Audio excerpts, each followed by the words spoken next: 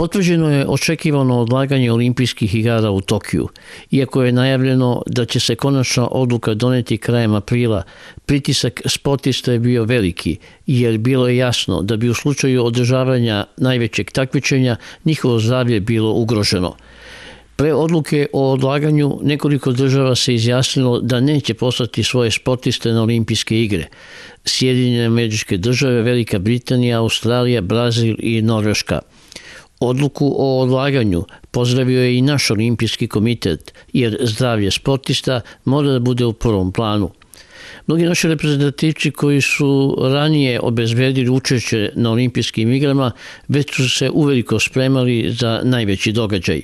Ljudi se stvarno celog života pripremaju tako, mislim da, da se ja isto pripremam celog života za, za, za taj jedan dan, za tih sat i po vremena koliko će da traje moj meč i u principu sve ono što radim je podređeno isključivo tome da ja budem najbolje što mogu da budem baš u tog, tog dana u tih sati i po vremena. Organizatori olimpijskih igara u Tokiju su zadržali i mogućnost održavanja najveće sportske manifestacije u predviđenom terminu. Međutim, više od 80% sportista je želelo da igre budu odložene. Najbolji teniser sveta Novak Đoković nestrpljivo je čekao početak olimpijskih igara u Tokiju. Pristupit ću olimpijadi kao i svakom drugom uh, turniru individualnom koji imam, jer smatram da je to uh, način na, na koji ću ja, u kojem ću ja sebi dati najbolje šanse i najveće šanse da osvojim medalju, što je naravno cilj ali sa druge strane i da doživim nešto što ne mogu da doživim ni na jednom drugom teniskom turniru, a to je ta olimpijska atmosfera u olimpijskom selu, pre svega sa našim sportistima, našim olimpijcima, pa i svim drugim.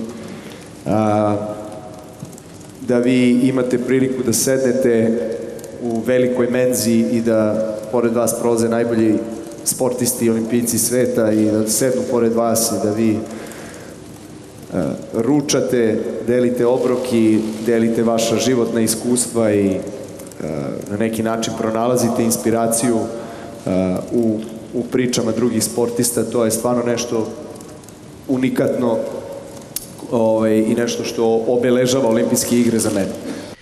Olimpijske igre su prvi put u istoriji odložene.